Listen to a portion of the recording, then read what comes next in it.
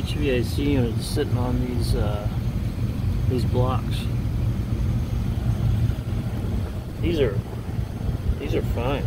I don't see what's wrong with those, but the HVAC unit sitting on blocks. I think maybe that's the problem right.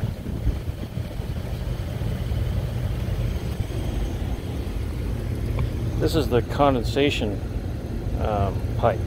If it's loose, then it might be going inside the building. See the blocks? Sitting on top of the block. That's uh, HVAC unit number one. Here's another penetration. To me looks okay.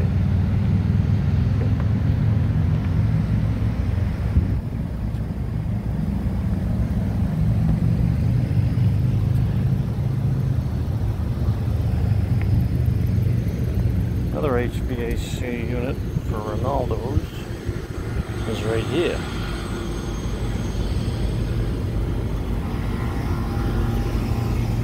See, this is a condensation pipe right here, and it's working, it's attached, it's working good.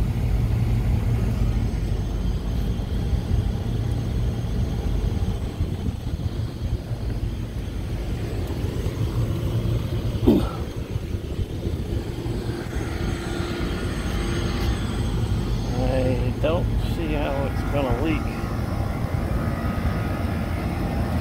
around here.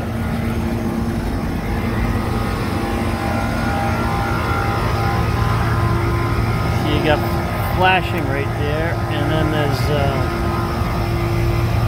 rubber roof going right up to the flashing and under the flashing.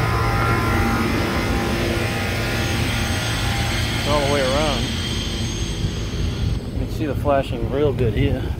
So all the way around this unit, this is a loose screw somewhere, so that that belongs somewhere. But flashing goes up the the roof, the membrane, which is right here, goes up and underneath the flashing. This is a flashing. I can't see how that's going to leak.